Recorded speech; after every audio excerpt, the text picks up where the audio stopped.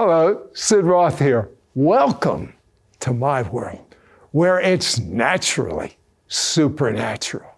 My guests can medically prove speaking in tongues literally changes the brain and boosts your immune system and makes you emotionally stable. I mean, scientific evidence. Next. It's supernatural. Hello, I'm here with Pastor Todd Smith from the North Georgia Revival. It's unbelievable. A little sleepy southern town in Georgia. Sometimes he'll have more people on a Sunday night for the water baptism service than are in the entire town. As a matter of fact, why? Because they have found it's like a point of contact. When they go in the waters of mikvah, of baptism, and come out, many are healed. Tell me your favorite miracle that's happened recently. It was a gentleman that had 280 cancerous tumors in his bones. 280? 280 cancerous tumors in his bones. He was so sick he could not even make it to the revival. His wife came to be baptized as a point of contact for her husband. He didn't even come. He did not even come. Hospice was at his house. He had two to three weeks to live. And his wife got baptized, and we sent her home with a towel, anointed it, and said, When you get home, as a point of contact, lay it on his body. And after just a few minutes, after she laid that towel on his body and began to pray for him, the pain lifted off of his body. Goes the next day. It must have been an excruciating pain. Excruciating pain. I'm telling you, Sid, to hear the testimony. Goes the next day to get a PET scan. They wanted to see what the cancer was doing in his hmm. body. I heard with my very own ears the doctor's phone call to the couple. She says, I'm looking at the old PET scan and the new PET scan. I'm looking at the old PET scan and the new PET scan. And she said, We cannot find any bone tumors, cancerous bone tumors in his body. And Completely healed and walking in full strength today. And, and again, how long did he have to live at the hospice? Two to three weeks, they said at, at most. And what did the letter say from the hospice? The letter that hospice sent said that this is incurative. And they gave him a window of six months because that's, they said we may be there six months, but we're looking at a two to three week window until he dies. You get that? The power of God is so awesome. God did that. Now, as a Southern Baptist, you were as strong against speaking in tongues as you are strong for God is a miracle working God today. Um, uh, how, how bad was it if, if I had walked up to you and said, I want, I want you to start speaking in a language you've never been taught. Here, look, what would you have done to me? I would have said, Sid, you've lost your mind. You, I would have said, you're crazy. In fact, I mocked people that spoke in tongues. Hmm. I scorned them. I literally told our congregation, don't do it, it's of the devil. Hmm. That's what I spoke as a leading Southern Baptist pastor that was pastoring one of the fastest growing churches in the state of Georgia. But Sid, in the midst of it all, I got hungry for God. I got thirsty for the Lord. And when I began to read my scriptures without my denominational glasses on, it became real to me that the baptism of the Holy Spirit and speaking in tongues was valid for today. Tell me briefly how you got filled with the Spirit. Well, after a year and a half of research, I'm talking about. You are really a cerebral guy. I, am thinking, I, I want the real and I want the authentic. So I had this copious research and I came to the conclusion that it was real and I went to a Pentecostal prayer meeting. I did. And that's the last place. I won't tell anyone. Yes. Listen, that's the last place that a Southern Baptist pastor ought to be in. There were four Pentecostal pastors there. And they ended up laying hands on me. And one gentleman weighed 140 pounds soaking wet, put his index finger on my forehead, and he said, Be filled with the Holy Spirit. Instantly at that moment, the Holy Ghost came upon me. I'm falling out in the Spirit, and I began to speak in tongues. And my life since that moment, Sid, has never been the same. It was the greatest thing that ever happened to me outside of my salvation experience. New York Times. Mm-hmm. The New York Times newspaper had an article about tongues. What did it say? Well, they followed a research that was done in uh, United Kingdom, and it was a group of 1,000 evangelicals that this research was conducted on. And the research came to the conclusions. Now listen to this. Came to the conclusion that those who speak in tongues consistently and regularly have fewer mental disorders than those who do not. And the New York Times reported on that research and affirmed that speaking in tongues is valid. And how about the University of Pennsylvania study? You know, the, Neuro, uh, the, the, neuroscience department of University of Penn, uh, Pennsylvania, led by Andrew Newberg, conducted a study. Uh, it is just absolutely phenomenal. That when they took people that were praying in tongues, said they analyzed the brain. They looked at what was going on in the brain, the activity, they discovered that the frontal lobe, which literally controls the speech of a person's life, when we were when they were uh, speaking in English and praying in English, it was firing. It was active. I mean, it was a lot of activity going on in their frontal lobe. But when they transitioned to tongues, when that individual spoke in tongues, all the activity in the frontal lobe went dormant. That proves it's not coming from the brain. It affirms what Paul said in 1 Corinthians 14 that when I pray in tongues, my spirit prays, but my understanding is unfruitful. Huh. And this is a university, University of Pennsylvania, led by a gentleman that uh, literally had a degree in nuclear medicine and nuclear cardiology. So this is not just some kind of a cheap research. This was done at the University of Pennsylvania that says the front of a person's brains goes dormant when they pray in tongues. Todd, you say there is a disturbing trend going on in charismatic churches and Pentecostal churches. What is that disturbing trend?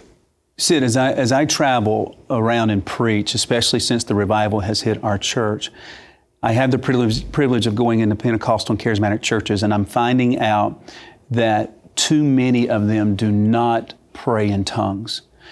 And many of them don't even know about the power of praying in the Holy Ghost. And these are Pentecostal charismatic churches where we should be talking about the significance of praying in the Holy Spirit. So here's what I, as a Southern Baptist, I doubted the validity of tongues. But we're, we're discovering that Pentecostal and charismatic pastors are devaluing tongues. They're taking it for granted. Taking it for granted and not making it a priority of the people of God. I've discovered in reading the scriptures that the very first thing that Jesus gave the church, the first thing, when the Holy Spirit came, was the ability to supernaturally communicate with Him in tongues. The first thing that He gave. And now we this trend is we're minimizing what Jesus gave the church the ability to talk to Him supernaturally. Yeah, you know what I think is so amazing? Sometimes Pastor Todd is at a meeting where over 80 people are actually praying in tongues for the very first time. That's almost like the original Pentecost. Uh, how did that happen? We were at uh, Pastor Kevin Craig's ch- church in Apopka, Florida, and we were baptizing, started baptizing at 9:30 at night because I told the people about the vision on the water, fire on the water, and then when they get baptized, they're going to be baptized with Holy Spirit fire. He told me that 80 of his members that he had pastored for years, when they got baptized and came up out of the water, that the fire of God touched them and hit them and immediately began to speak in tongues. They started baptizing at 9:30 at night and at 9:30 the next morning, 12 hours of continuous baptism and people were getting baptized with the Holy Spirit. Pentecostal people baptized with the Holy Spirit speaking in tongues as they came up out of the water. Now, um, you, you told me that uh, there was a medical doctor that did scientific tests about praying in tongues and the immune system. Uh, a fascinating study that we uncovered and discovered. Carl Peterson at ORU uh, did a study on the effects of praying in the Holy Spirit, praying in tongues. And he came to the conclusion in his research that if you pray in tongues consistently, now his, the language that he uses is very important, that, that there are extended periods of time in praying in tongues, not just uh, one or two sentences once or twice a week, but extended times of praying in tongues, that the immune system of that individual gets boost 35 to 40 percent. 35 to 40 percent their immune system gets activated. Why? Because praying in tongues does impact a part of the brain where your immune system is centered, and that's the hypothalamus. So they ran the test and found out that that part of the brain is activated and, and functioning at a high level when we pray in tongues, and it releases a supernatural immunity in our bodies. Hmm. I'm wondering if it does any other thing when it gets charged beyond immunity. I, I have an idea there's a there's, lot more things that are. There's a lot more. I agree. Now, you talk about, use a phrase, flipping the switch. Explain. Flipping the switch, because people ask me all the time, I prayed in tongues at one time, but I don't anymore because I'm waiting on a, waiting on a feeling. I don't feel it. I don't know, you know, it's not the same. I tell them it's like walking into a room and you walk into the room and the light is off, but you flip the switch on and the light comes on. When you walk out of the room, you flip the switch down and the light goes off. I, I, I tell people praying in tongues is no different. When you pray in English, your tongue is connected to your brain. As I'm communicating to you, Sid, everything that I'm saying started right here. And in a nanosecond, it has made its way through my mouth and I, and I give words to it. Now, praying in the Holy Ghost, praying in tongues, is when my tongue is connected to my spirit. Paul says that when I pray in tongues, my spirit prays. So I have to learn the discipline of flipping the switch from praying in English to connecting my tongue to my spirit. And the more you pray in the spirit, the easier that becomes. And you don't wait on a feeling, you don't wait on an emotion, you don't wait when the worship music is on. It is as natural as breathing. You flip the switch from your head to your spirit, and then you give voice to those words coming out of your spirit. Now, many that are viewing right now have never spoken in tongues. Others use this marvelous gift very little. Both groups will change when we return.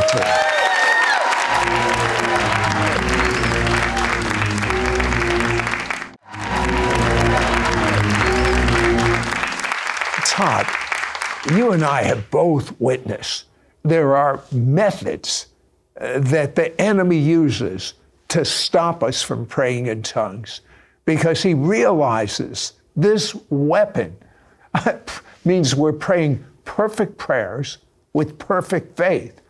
And he goes, a Hebrew word, meshuggah, crazy. Uh, what are some of the methods he uses against people for praying uh, about praying in tongues? Well, for one, he, he tells us that we're not making a difference, that what we're doing is null and void. Since we don't understand it, we're thinking, he's saying, ah, you're just wasting your time. Everybody I know wants to have their prayers answered.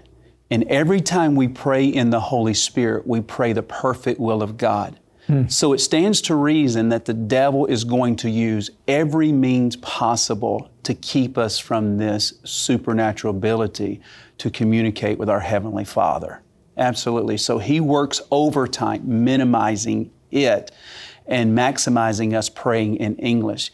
When I pray in English, I only pray what I know. I'm limited.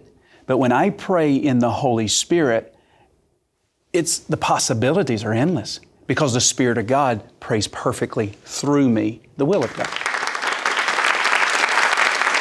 Okay. Tell me a few supernatural benefits of praying in tongues. Well, one of those, Sid, is you get to pray the perfect will of God, as we've said already, every single time. Second of all, it builds up your body, your structure, your spirit. You become edified, the Bible says, when you pray in the Holy Ghost. You literally put on spiritual muscles. There may be a hundred pound, 93 year old woman in the, in the physical, and she seems to be weak, but in the spirit, if she prays in tongues, she's a giant in the faith and she can move mountains. One of the greatest examples that I have, I have heard was with Bob Rodgers, said that uh, I was on Prayer Mountain with him, getting ready to address hundreds of pastors. He was introducing me, and he shared the story. And he said, um, on one particular day, a few decades ago, there were seven plane crashes that killed 40 people. Now, these were small aircraft, small planes, two or three people on board. And he said, on this day, seven planes crashed, 40 people died. Mm. My wife was awakened at 2.30 in the morning. And she had no idea why she was being awakened by the Lord. And she said, I'm going to get up and pray. Well, in her mind is limited, so she doesn't know what to pray. She prays all she knows in English and then kicked into tongues.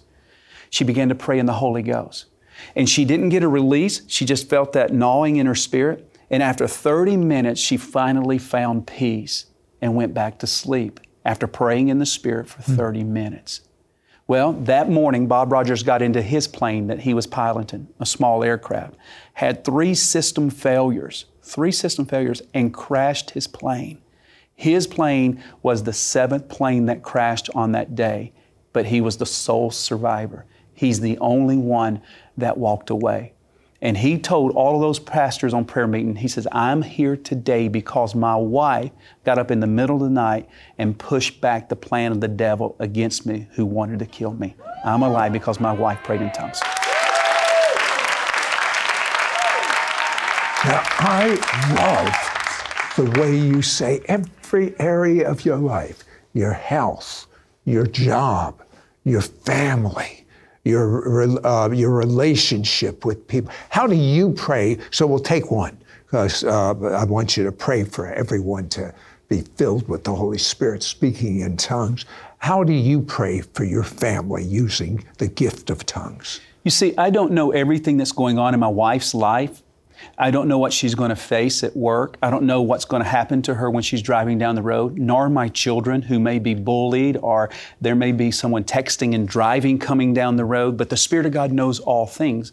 So the Spirit will move upon us to pray for our people. But if I don't know how to pray, then bad things can happen to my family. So here's what I do. This is the suggestion that I ask that everybody does.